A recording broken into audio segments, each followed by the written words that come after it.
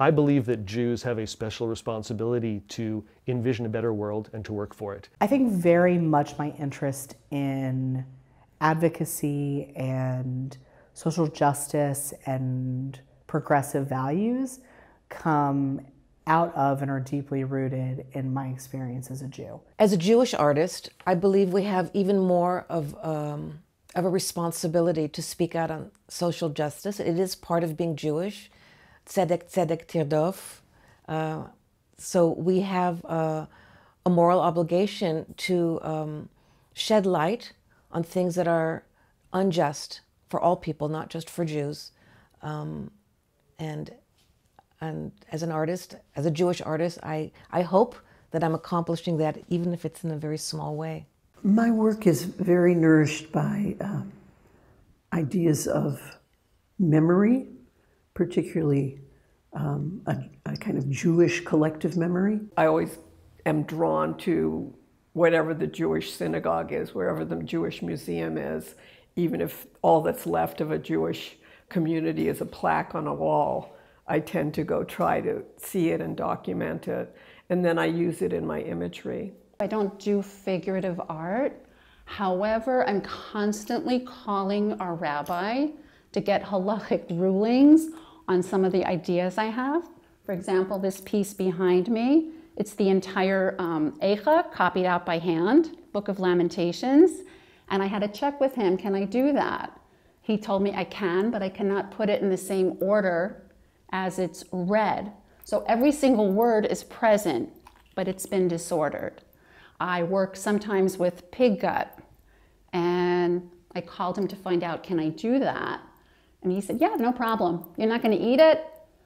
People use pigskin wallets. There's no halachic reason why you can't use it. So I kind of made full circle from starting off being totally um, secular, I guess you could say, as an artist, to coming back to my roots and specifically my legacy as a child of survivors because the paintings I, I'm doing now, the figurative paintings, are based on old black and white photos of my parents right after the war in a displaced persons camp.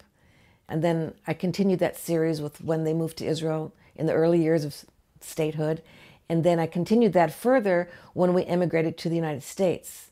That's where I come into the picture as a, as a little immigrant and, and an immigrant family with still very strong ties to Israel insofar as my Judaism finds its way into my work, yes, there's that social consciousness, but I don't consider it necessary.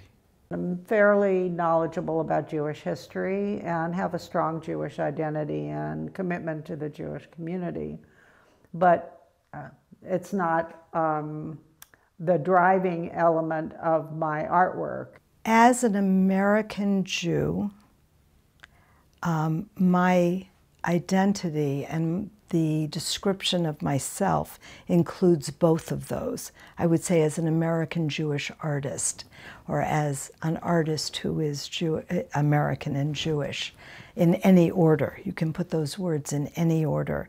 So all of that has to be satisfied at the same time. Um, my Americanism, my Judaism, and my art practice all have to be satisfied. What I'm interested in is expanding the cultural vocabulary of what it means to be uh, a Jew in contemporary America. There was an attitude in the 60s and 70s, particularly, especially in abstract expressionism, really, uh, that you know one should not be publicly Jewish. That it was fine for everyone else to express their identities, but Jews were to go you know, straight to the universal. And uh, if you read the biographies of any number of prominent Jewish artists at the time, um, Rothko would be an example. Um, you know, there's a tendency to hide one's Jewish identity. I didn't feel that way at all. I am Jewish. I love as a Jew. I don't know Torah. I don't know that much about all the holidays. It's just not in my daily life. My daughter knows she's Jewish, but it informs my work because of the teachings I was raised with. Question everything. Jewish reason, Jewish think, think, think about the bigger community. And that's how every day my work is Jewish. the Jewish qualities of working, of being, of working with art and moving forward all the time would be the same as we were raised to feel that we had to be a step better in order to survive further in our environment and in our communities. I think that's where that comes from. I think it always, that tenant that parents always would say is that you have to do a little bit better. Not that I was being pushed to be like the grade A student, but I was definitely aware of the fact that in order to sustain our positions in the world, we had to be a little bit better. We are raised on asking questions. And I think that's part of my Jewish sensibility. I ask a question why does this look so beautiful? Why does the morning glory look beautiful with the purple and the little yellow on the inside?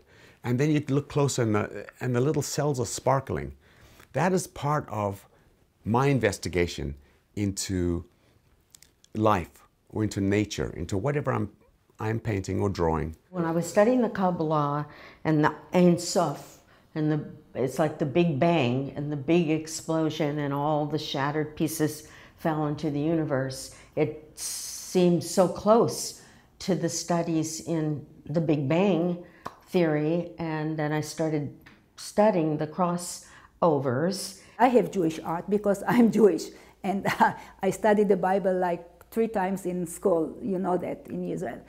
Um, it's it's uh, indirect. It's not by painting menorahs or mezuzahs or whatever. It's like the more spiritual part of Judaism. Someone might ask me, uh, "You're a Jewish painter. Do you paint Jewish topics?"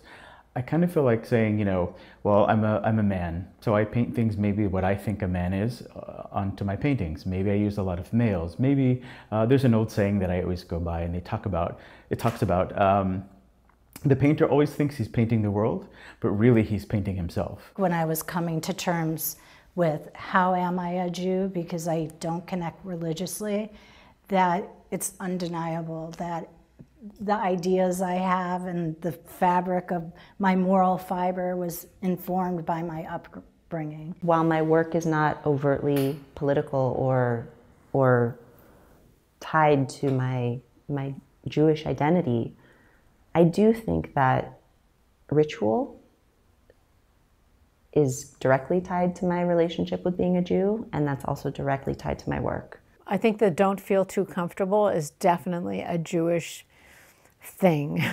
and being raised not to always feel or understand that you never know what's coming next, what's around the corner, that we should always be prepared. That's not to say that I walk around scared. It's to say that I we have a survivalist nature, but without digging holes in our backyards to have a hut to crawl into. I think that that definitely addresses my art practice too. I'm never, I'm never satisfied doing the same kind of thing. I think I feel like it, it always evolves, and each piece that I complete leads me to the next piece or body of work. I joined the Jewish Artists Initiative, and that focused my art in a different direction toward uh, Judaica and, well, my own feelings about my connections. My husband's an architect, and I, I felt kind of attracted to uh, structural and grids in, in work, and contrasts, and color, and, and shapes. And like these images behind me are rather structural. And then I started using other symbols of pomegranate and um, there's also images behind me that look like a burlap that became uh, tallis images. So the images that I used directed brought me more into the Jewish aspect of my art than I than as an intention. My artwork is about relationships, so that's a sociological endeavor, and uh, I think it's also an important part of. Uh, of my identity as a Jew because uh, part of being a Jew is uh, concern for community and relationships and uh, organizing and developing and making things better. So that's part of the Jewish heritage. Do I need to deal with Jewish themes constantly to, to express my Judaism?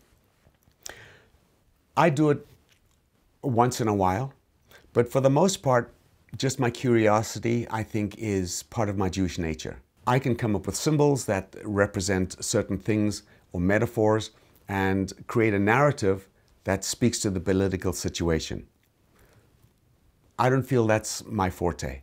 The reason that I use comic books in my work is because we see those same stories in comic books. Superman is an immigrant from another place. He has a different language, he has different clothes, he has different ways that he thinks about interacting with people, and he lands in Kansas in the middle of America and has to figure out how do I become an American? How do I be a part of this larger world and still maintain what is special about me? And we see that as well, I believe, with, with immigrants in Israel right? Depending on what decade we're talking about. Is it a population of Russian Jews? Is it Ethiopian Jews? Uh, French Jews now, right? How do we bring them in? How do we welcome people who have slightly different ideas about how they want their lives to proceed? How do we make America and Israel a home for anyone who wants to be there? That is something that I'm exploring with my work. That's who I am. I'm a Jewish person, and, and that's where I find I'm finding strength.